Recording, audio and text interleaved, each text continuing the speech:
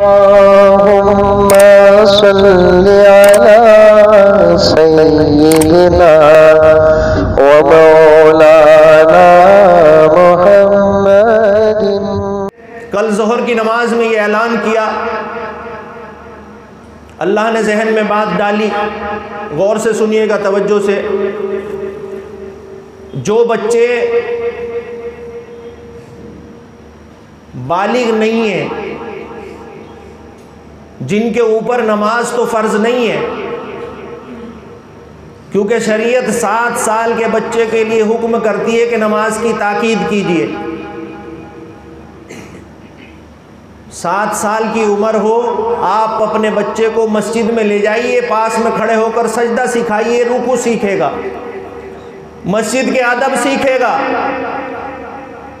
और जब दस साल का हो जाए तो अगर वो नमाज़ ना पढ़े तो फिर सख्ती कीजिए डंडा मारिए।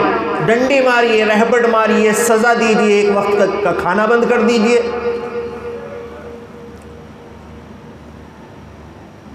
तो हमने इसी तहत कल अल्लाह ने जो बात जहन में डाली कि जो बच्चे बाल, बालिग नहीं हैं यानी कि पंद्रह साल के अंदर के बच्चे हैं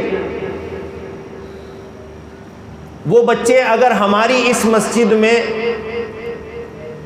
चालीस दिन तक नमाज़ पढ़ेंगे, पाँचों वक्त की नमाज़ बाजमात नमाज़ पढ़ेंगे, चालीस दिन तक, हम उनको एक डायरी देंगे, आपका कोई बच्चा पड़ोस का हो, अपना हो, ये आपकी ज़िम्मेदारी है, जहाँ तक मेरी आवाज़ पहुँच रही है। और मैं अइम्मा मसाजिद और मसाजिद के ज़िम्मेदारों से भी ये गुजारिश करता हूँ कि हर मस्जिद में ये निज़ाम होना चाहिए कि 40 दिन तक जो बच्चा नमाज़ पढ़ेगा बग़ैर किसी नागा के, एक भी छुट्टी ना हो, उसको मैंने अपनी तरफ़ से ऐलान कर दिया, जो हिस्सा लेना चाहते हैं वो हिस्सा ले सकते हैं कि इन उस बच्चे को ये एक हो या दस हो या बीस हो। उसको डिनर सेट देंगे। क्या देंगे? Dinner set. खाने के बर्तनों का सेट। चाहे वो पचास ही क्यों ना हो, उसका इंतज़ाम अल्लाह ज़रूर कराएँगे। दूसरा इनाम वो होगा कि जिस बच्चे की पाँच नमाजें छूट गई हों।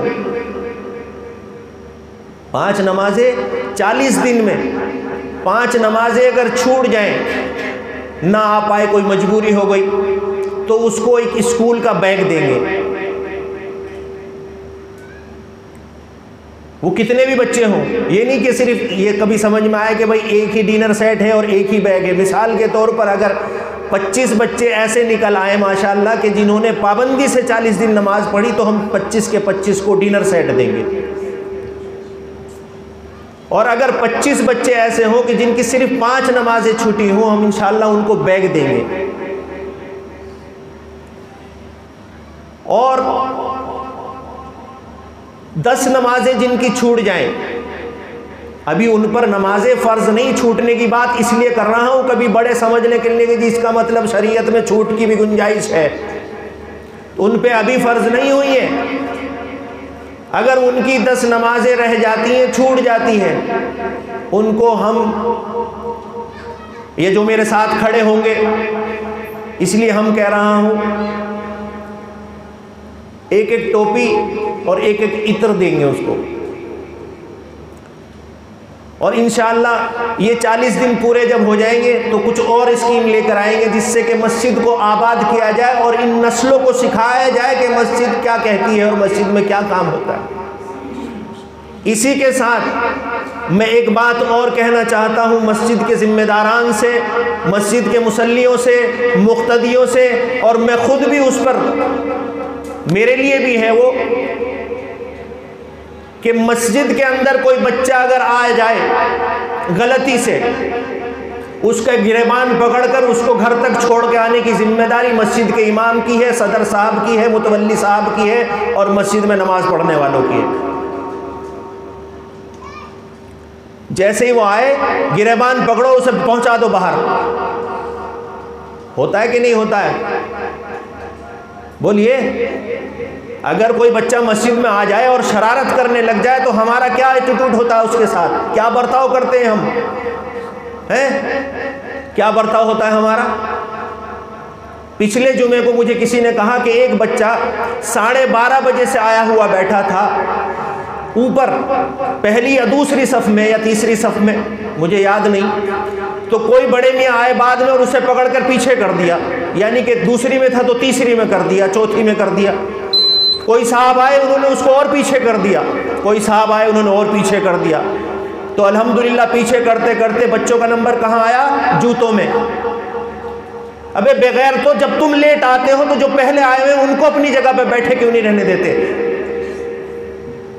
तुम मस्जिद के ठेकेदार नहीं हो। तो बच्चों के साथ में ये बदतमीजी, ये बिहेवियर आप बिल्कुल ना करें। बच्चा जहाँ खड़ा है, उसको खड़ा रहने दिया जाए। हाँ इतनी शफकत ज़रूर कीजिए इन बच्चों के साथ। नए बच्चे होंगे, इनको तमीज़ नहीं होगी, इन्हें मस्जिद के आदाब का नहीं पता होगा। इनको चाहिए कि अपने बगल में खड़ा करें, जिससे कि ये शरारत ना करें। अपने बराबर में खड़ा करें कि जिससे कि ये दंगा ना करें, शोर शराबा ना करें। लेकिन अगर किसी वजह से ये शोर शराबा करते भी हैं तो कोई बात नहीं। दरगुजर कीजिए। आज ये दंगा करेंगे तो इन कल ये दंगा को छोड़ भी देंगे।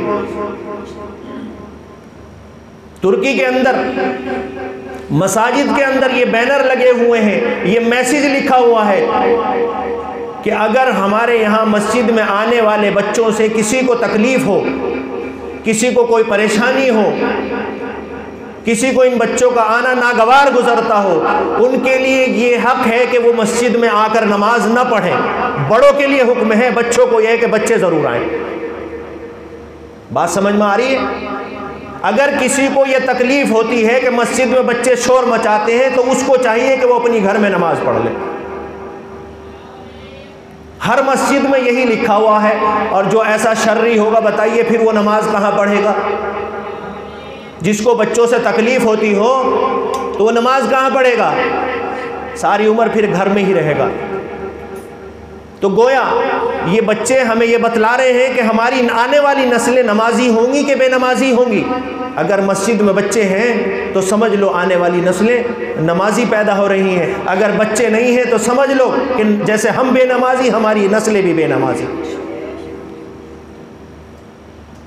तो तवज्जो रखेंगे इन ये बात पहुँचा दीजिएगा और जहाँ भी अगर आप भी मस्जिद के किसी मस्जिद के ज़िम्मेदार हैं, या आपकी कहीं किसी मस्जिद में बात चलती है, या आपका कोई जानने वाला है, वहाँ भी ये बात पहुँचाइए।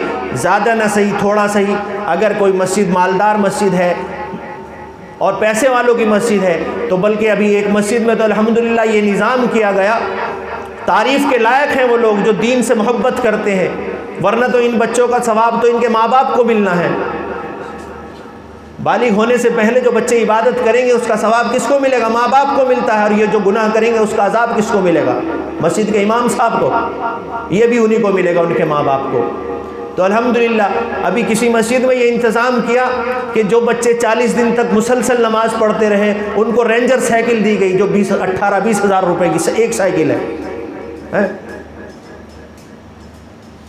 तो जज्बा पैदा होगा कि नहीं होगा? स्कूल में एक ट्रॉफी जिसकी कीमत डेढ़ सौ, दो सौ रुपये होते उसके लिए जान की बाजी लगा देता है बच्चा के मुझे मिलनी चाहिए। तो जब आप ये ऐलान मस्जिदों से करेंगे, जब मस्जिदों में ये माहौल बनवाएँगे तो आपकी मस्जिदों की रौनक बढ़ेगी कि घटेगी? बढ़ेगी। तो दुआ कीजिए अल्लाह ताला इस मस्जिद की रौनक को और इसी तरीके से जहाँ तक ये मैसेज जाता है, इन मस्जिदों को रौनक को बढ़ाने वालों की भी अल्लाह उनके घरों की भी रौनक बढ़ा दे। अल्लाह ताला उनकी नस्लों में भी बरकत अता फरमा दे। अल्लाह हमारी नस्लों को सबको नमाजी बना दे। अल्लाह ताला दीन के साथ जमा रहना नसीब फरमा। व आखिर दावाना अनिलहमदिल्ला